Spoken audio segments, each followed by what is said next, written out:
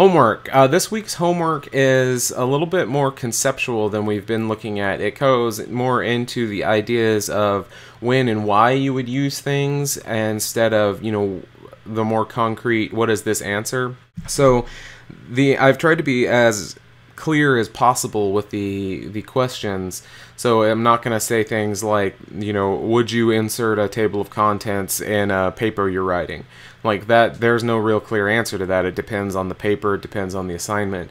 More it's things like um, would you use like why would you put a paragraph style in a document? Like and the answers would be things like oh because it'll show up in a table of contents or because it allows me to apply a particular style to the text uniformly with consistency. So these are things that are sort of concrete answers, not not um, they're quantitative, not qualitative. Let's put it that way. So I briefly touched on open source software, mail merge, and text boxes uh, and the survey. Let me know if you'd like to hear more about these, and I'll try and cover some later on. Also, next week I want to talk about processors and processor speed.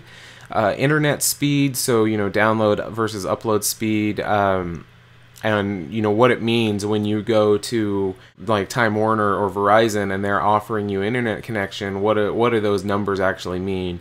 Um, we also want to review stuff for the midterm because that is coming up very very shortly.